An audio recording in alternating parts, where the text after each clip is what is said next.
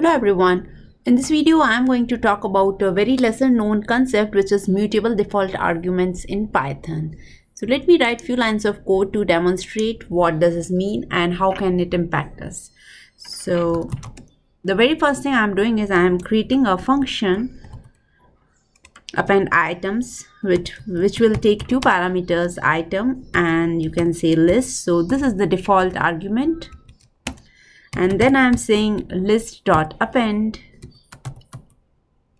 And inside that we will just say item and return the list which we just created. So this is what uh, the simple function is. And now what I'm going to do is I'm going to make a call to this function. So for that let's create two lists. So list one equal to append items. And inside this I'm giving 100 let's go ahead and print this list one.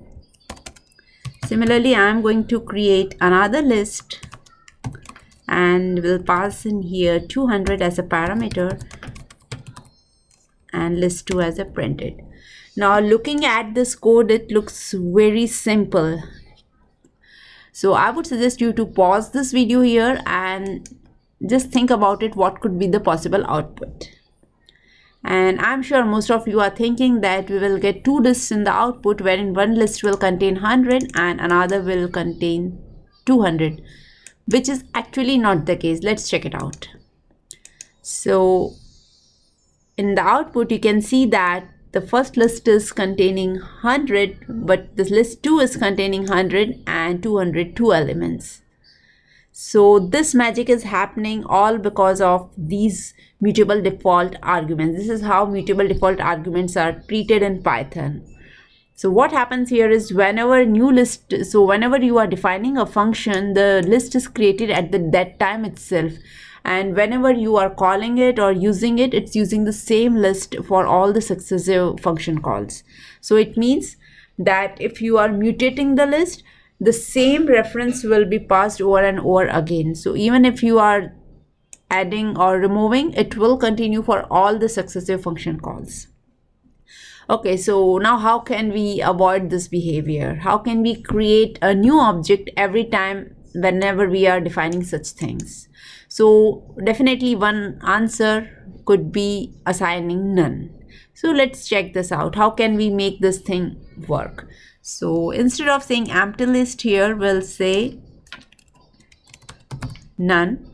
And here we will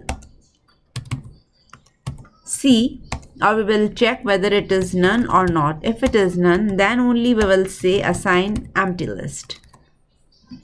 Okay, and once this is done, and now if we will execute this code, you can see that you got the output as expected. So 100 and then 200 so this is how you should be careful whenever you are dealing with mutable default arguments.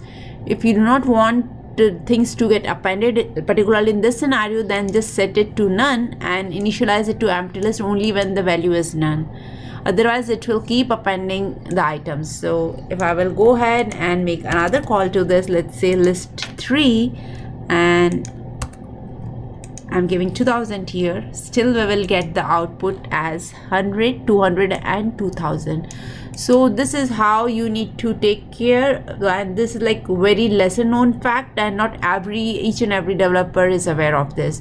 So i hope you find this small tip very useful and thanks for watching